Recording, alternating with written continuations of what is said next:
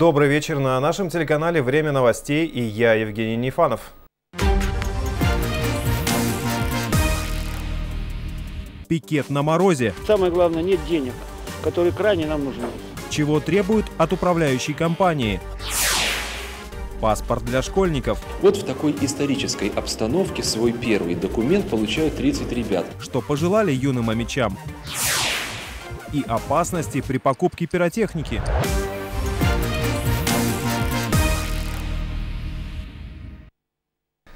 Верните наши деньги. С таким требованием вышли на площадь перед СКК имени Блинова жители нефтяников. Они организовали пикет против управляющей компании «Сервис». Обслуживающая организация задолжала собственникам 3 миллиона рублей. Долг признали в судебном порядке в 2015 году, но за три года, как считают собравшиеся, коммунальщики не вернули ни копейки.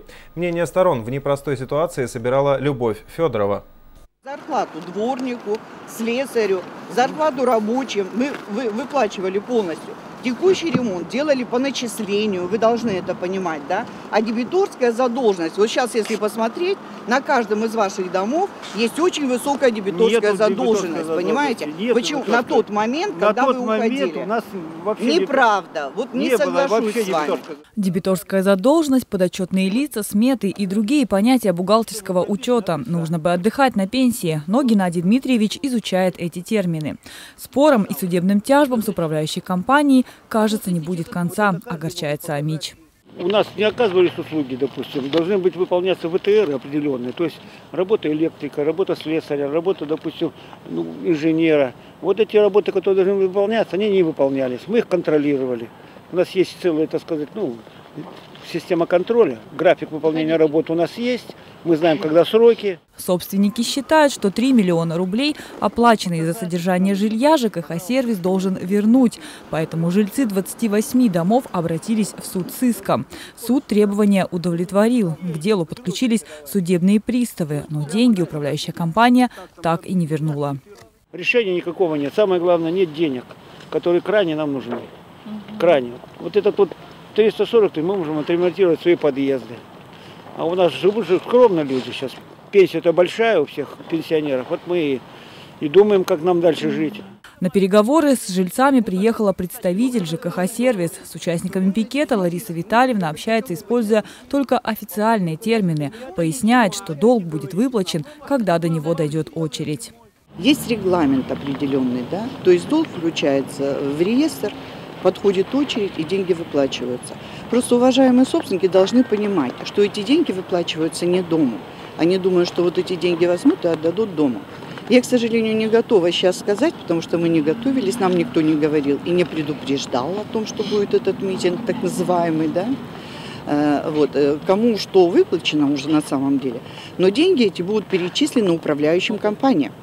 Разговор заканчивается очередным спором. Представитель управляющей компании за полчаса беседы так и не ответила на главный вопрос – когда ждать обещанных денег. К слову, на пикет пришли только три человека. Приглашали 28. Жильцы дома по улице Физкультурная, который когда-то обслуживал ЖКХ-сервис, ответили, что претензий к управляющей компании у них нет. Вы знаете, я вообще ничего не знаю даже.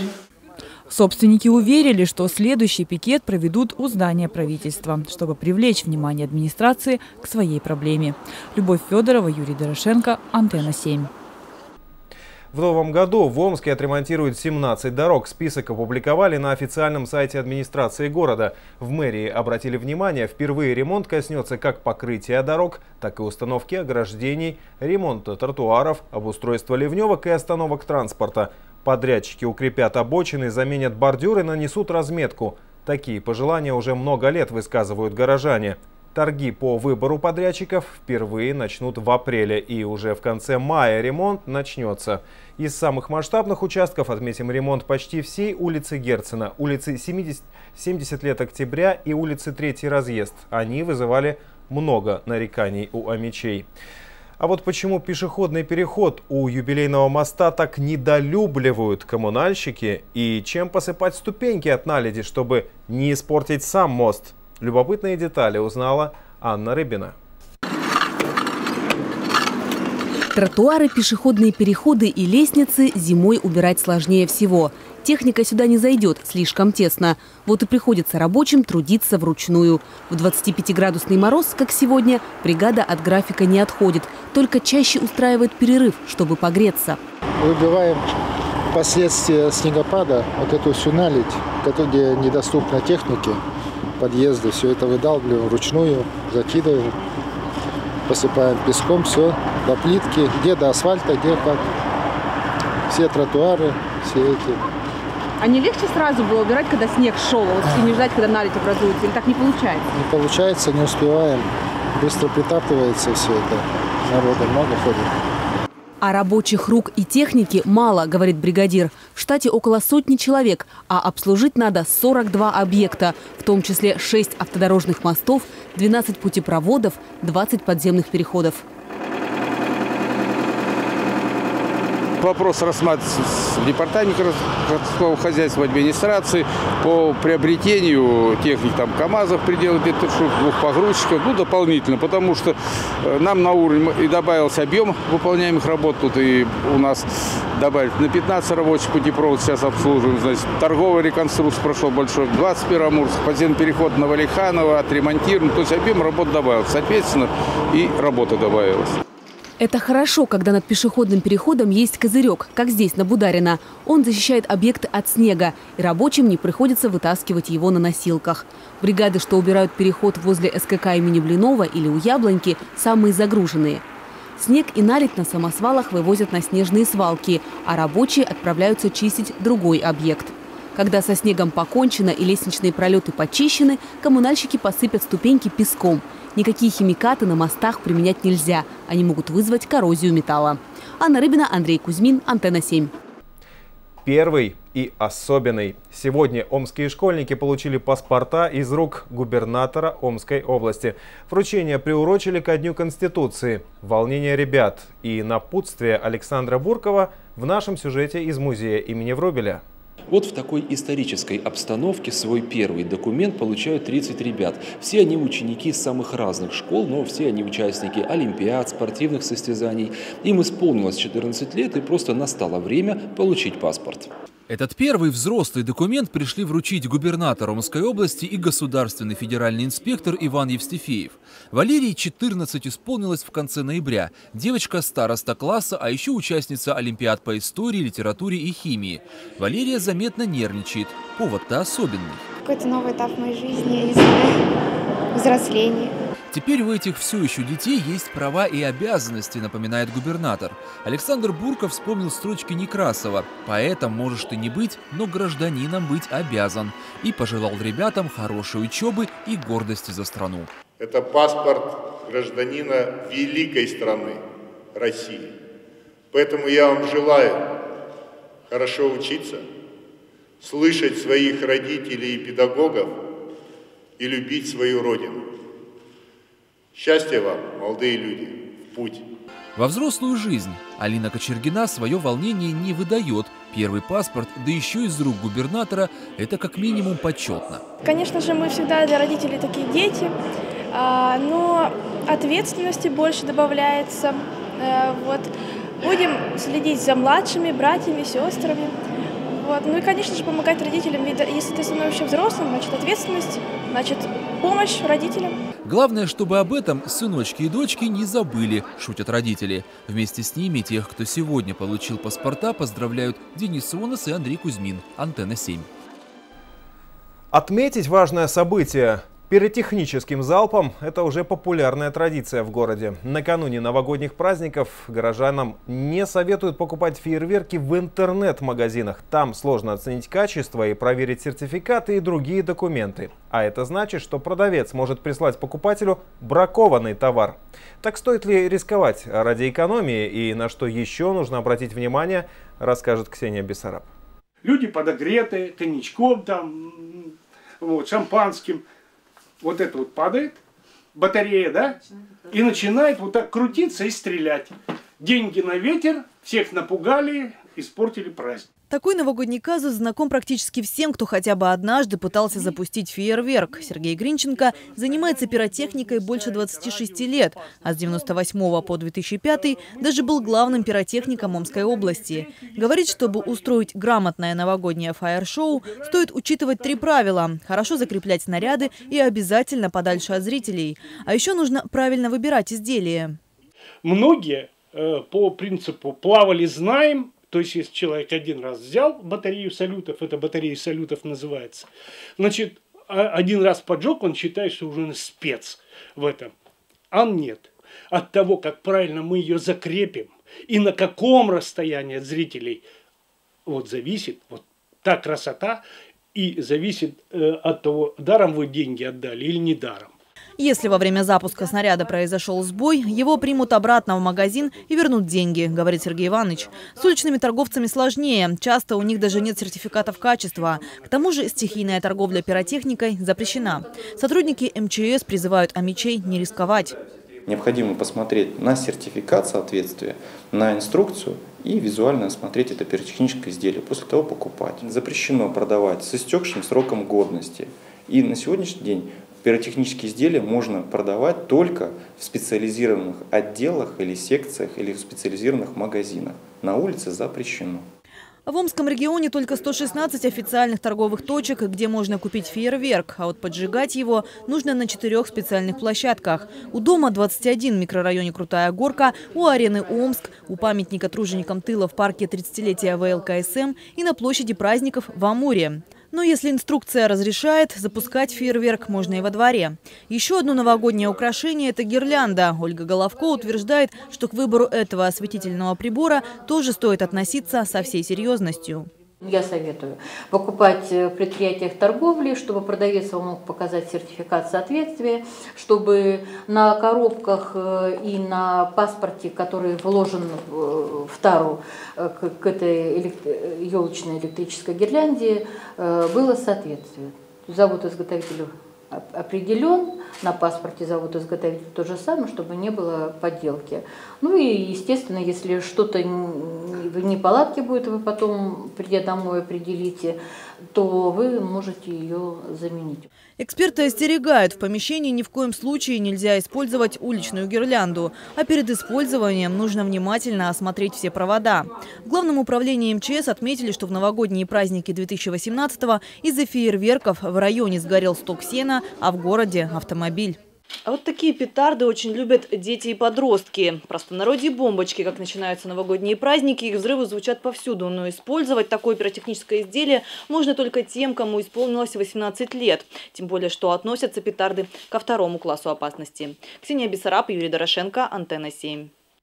Будущим летом реконструируют и площадь перед музыкальным театром. Ремонт продолжат и в здании. Там планируют модернизировать систему отопления, продолжат менять витражи.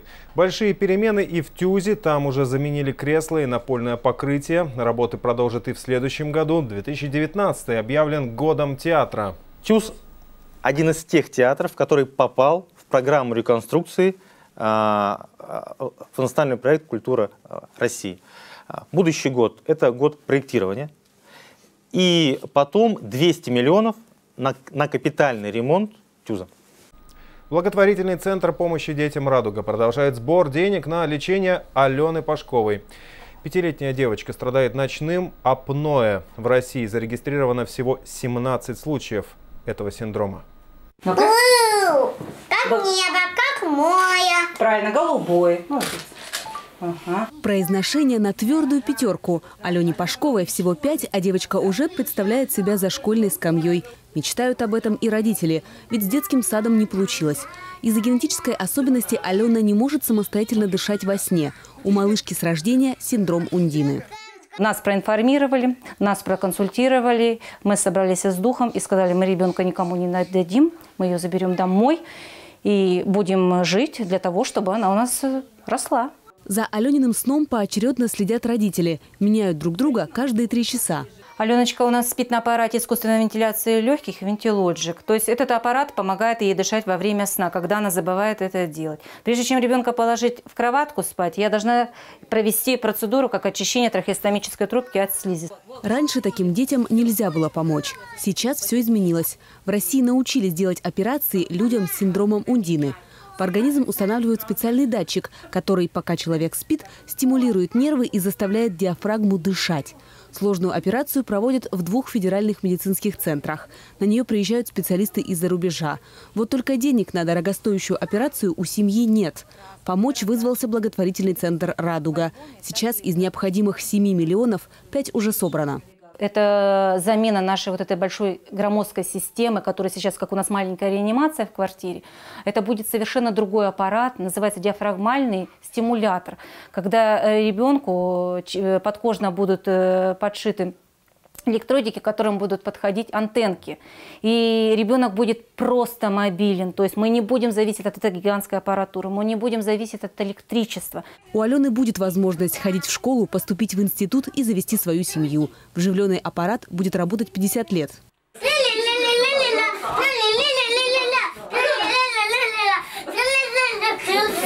Помочь Алене может каждый, перечислив средства по СМС, отправив на номер 3434 сообщение о МИЧ, пробел и сумма пожертвования. Анна Рыбина, Антенна 7. Избежать заноса АЧС на подворье вполне возможно, если ответственно относиться к содержанию свиней, ведь гибель животных наступает в 100% случаев при заражении. Сложная ситуация по АЧС на территории Омской области была в 2017 году, когда летом в одном из личных подсобных хозяйств села Верблюжье Саргатского района выявили первый очаг. Всего в городе и в 13 муниципальных районах области было зарегистрировано 34 эпизоотических очага и 3 инфицированных объекта. Их выявили в личных подсобных фермерских хозяйствах граждан в исправительной колонии номер 8. Закон есть закон, поэтому в эпизоотических очагах и первой угрожаемой зоне в 115 населенных пунктах было отчуждено и подвергнуто кремации 20 с половиной тысяч голов свиней. Только так можно победить вирус. Владельцам животных из областного бюджета выплатили компенсацию почти 170 миллионов рублей.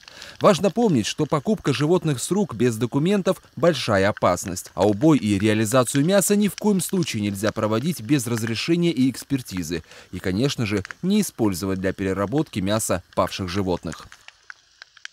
А мечи могут приобрести Алмак Плюс по выгодной цене. В региональном центре «Доступная среда» сейчас проходит акция.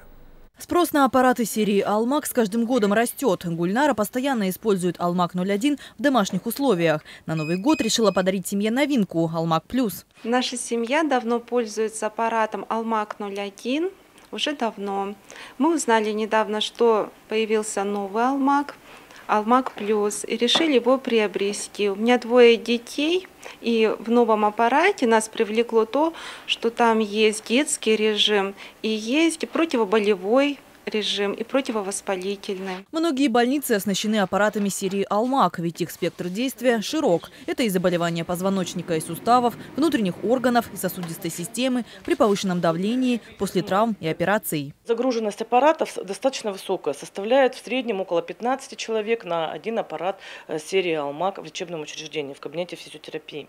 А, для того, чтобы снять проблему загруженности, для того, чтобы для человека снять проблему очередей, э, ее можно решить приобретением аппарата э, магнитотерапии в домашние условия. Приобрести «Алмак Плюс» можно в сети аптек «Госаптека» и региональных центрах «Доступная среда». «Авангард» в ярком матче взял верх над магнитогорским «Металлургом». Наши хоккеисты уступали к середине второго периода со счетом 0-2, но сумели собраться и сыграть в динамичном наступательном стиле. На 38-й минуте Максим Тальбо классно сыграл на добивании.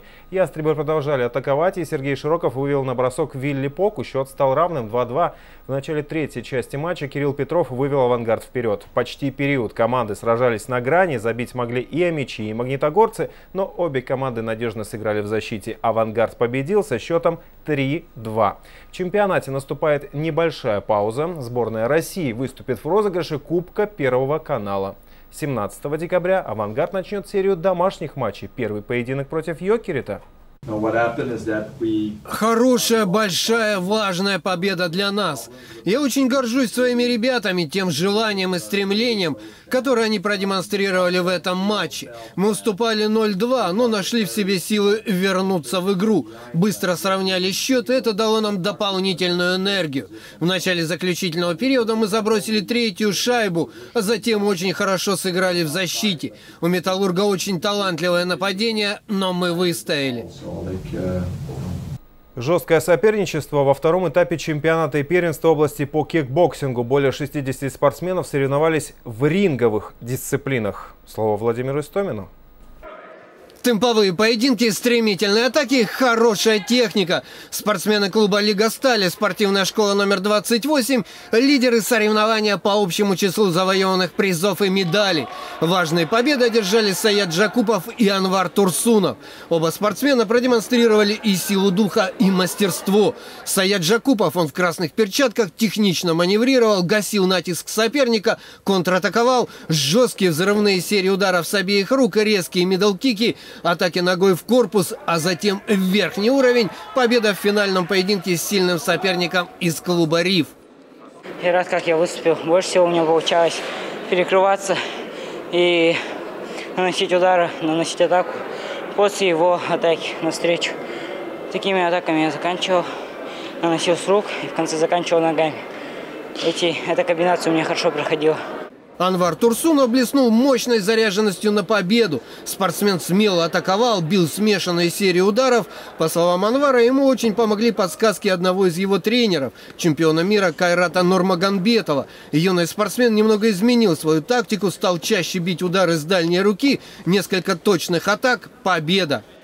Я беру пример нашего чемпиона Кайрата Нурмагомбетова. И в этом поединке бил нижние удары и боковые удары рукой и заканчивал ногой. Яркие победы бойцов клуба «Беркут». Смелые ребята из поселка Лузина быстро прибавляют в мастерстве. Впервые одержали командную победу в самых жестких разделах кикбоксинга – фулл-контакте с лоу-киком и К1. Два спортсмена клуба Никита Гоман и Илья Дубков завоевали специальные награды соревнования. Очень сильно помогла поддержка тренера Васильева Михаила. Я и одноклубников. Я очень доволен этим турниром и своим боем в частности. У меня очень хорошие э, получились обманные маневры с левой подставкой и правым лоу-киком. Все прямые заходили и очень доволен. Успех кикбоксеров спортивной школы имени Героя России Олега Охременко. Бойцы-лидеры по числу волевых побед. Выиграли пять золотых медалей в разделе «Фулл контакт». Красивые победы одержали бойцы еще нескольких клубов. Сибирский медведь, Гепард, Георгий Победоносец. Итоги соревнования подвел вице-президент Омской областной федерации кикбоксинга Вадим Жигула. Мы видим э, рост и скоростно-силовых качествах, э, выносливости. Вот. Ну, естественно, сейчас у многих ребят прослеживается момент, когда они более становятся э, театральнее к этому относиться, более зажигать публику, более красивее выступать. Есть ориентация не только а именно победить, но победить еще и красиво. Следующее соревнование омских кикбоксеров буквально через неделю. В Екатеринбурге пройдет крупный всероссийский турнир Кубок ТМК. И в нем выступят все наши сильнейшие спортсмены. Владимир Истомин, Максим Баринов. Антенна 7. Омские бойцы Муайтай сегодня сразятся с соперниками из Бразилии, Таиланда и Казахстана. В центре единоборств пройдет крупный международный турнир. Вызов нашим спортсменам бросили сильные противники. Чемпион мира Антон Чижиков будет биться с многократным чемпионом Бразилии Карлосом Перейрой. Дмитрий Ахмедов и Станислав Попов сразятся с бойцами из Таиланда. Возможность проявить себя получили и молодые омские боксеры. Сразу пять наших спортсменов будут соперничать с бойцами из Казахстана. А у нас на этом все. Заходите на наши страницы в соцсетях и до встречи.